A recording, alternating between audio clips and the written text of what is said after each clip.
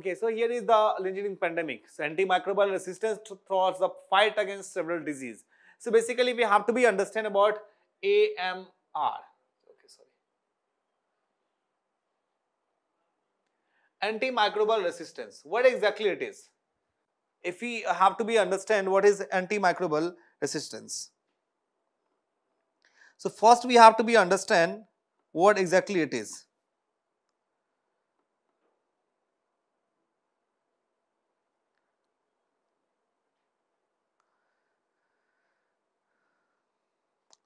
So what exactly is antimicrobial resistance? As per the WHO, antimicrobial resistance occurs when bacteria, virus, fungi and parasites change over time and no longer responds to medicine, making infections harder to treat and increasing the risk of disease, spread, severe illness and death. So basically, uh, micro, microbial resistance which means what? You are taking lots of antibiotics, antibiotics, but the, your body is not going to respond it in that case, you are doing overdose of antibiotics. In that case, your uh, body is not start fun functioning. So that's why after the pandemic, uh, as we can see, uh, here is a writer is a scientist to the ICMR, Indian Council of Medical Research, that is uh, Kamini Walia. So ever since the pandemic struck concern has been raised about the improper use of antimicrobial amongst COVID-19 patients. So basically, uh, in the case of like antimicrobial resistance, which means what? Like doctor is very like concern about like कि slabs निकालने होंगे मुंह के अंदर से corona test के लिए and without doing this they are doing antibiotics so that antibiotics are not affecting to the patient in that case so that's why the, this uh, this is talking about the role of antimicrobial resistance The unnecessary prescription of antimicrobials will lead to further increase in the already high levels of drug resistance in most parts of the world. In the past few years, alarmingly high resistance rates of pathogens of public health pathogens, which means spreading of uh, bacteria. That's not the pathogens. Once we handshake to the one people to the another people, so you are spreading pathogens to the another people. So pathogens of public health importance have been reported from Indian hospitals. So isolate is concerned with the cl clinical outcomes in the patient from whom they were isolated. This is to do with the inadequate hospital information system in most public sector funded healthcare facilities in India and many low mid middle income countries. So in 2014 it has mentioned already and the global burden of bacterial antimicrobial resistance in four country and territories 2019 Global report on antimicrobial, that is GRAM, report released last month provide the most comprehensive estimate of the global impact of antibiotic resistance. To, according to the report, 4.9 million people died from the drug resistance bacterial infections. Overdose of medicines and if the uh, if the the disease is not uh, happening with that patient, for example, if the if if I'm not suffering from the uh, COVID-19, but the doctor is prescribing medicine that is uh, for the COVID COVID-19. In that case, will body will not react, right? So that's why this is article is mentioning here. With 3 lakhs 89,000 deaths in the South Asia alone, AMR directly caused to at least 1.27 million of those deaths. Lower respiratory infection accounted for more than 1.5 million. This data we can link uh, in the uh, right in the mains exam. The National Action Plan for AMR approved in 2017 completes its official duration this year.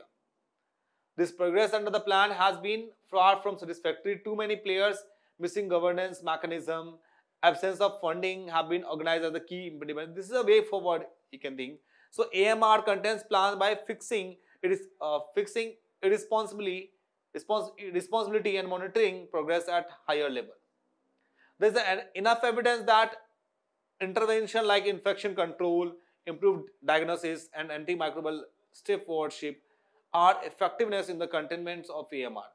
The GRAM report which means the global report on antimicrobial has underlined the postponing action could prove costly.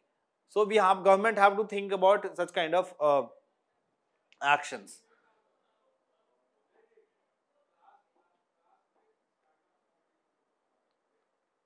So what causes so cause of antibiotic resistance? Overprescribing of antibiotics, patient not talking antibiotics uh, as prescribed. Sometimes like uh, like uh, some medicine which has to be uh, uh, shown by like US president. I'm forgetting the, those medicine name and the people are using that medicine right in the time of second wave of COVID. So without doctor prescription, if you are using those antibiotics, unnecessary antibiotics used in agriculture, and with the help of uh, with the help of bioaccumulation, they are spreading towards the human body. Poor infection control in hospital and clinic, poor hygiene and sanitation practices, lack of rapid laboratory tests. So these cause of antibiotic resistance is occurs. How does antibiotic resistance occur?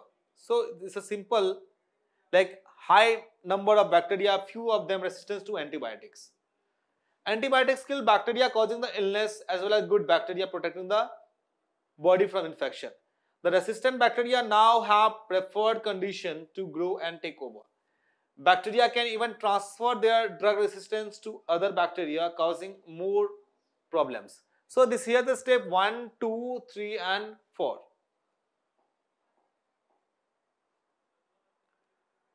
So this article basically is talking like global action plan 2015 and UN res resolutions on AMR including the one in India have not been translated into coherent action. The major impediments to AMR containments is the most affected countries have the least data on the burden posed by the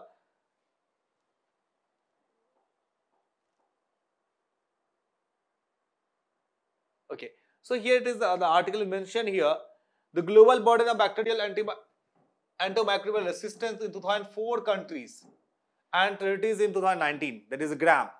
And this report released last month it provides that because you know uh, the case of according to the report 4.95 million people died the drug resistance bacteria infection 0.19 so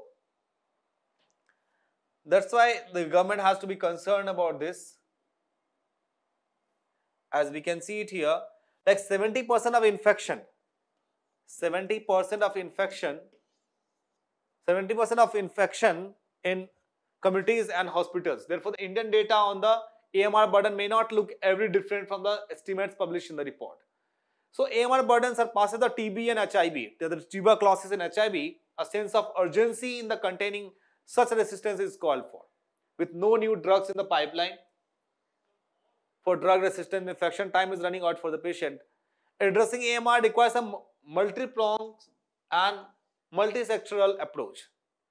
The urgency to develop new drugs should not discourage us from instituting measures to use the existing antimicrobial judiciary judicially. So basically government has to be think about very cleverly about the AMR that is antimicrobial resistance. So all this requires a comprehensive plan driven by designated coordinating agency.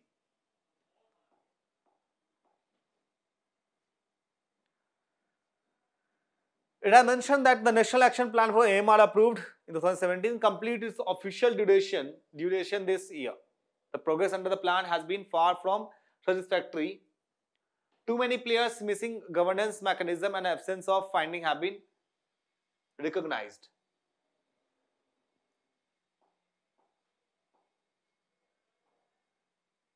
So here it is, we have discussed like GRAM, Global Research and Antibiotic Anti microbial resistance gram project.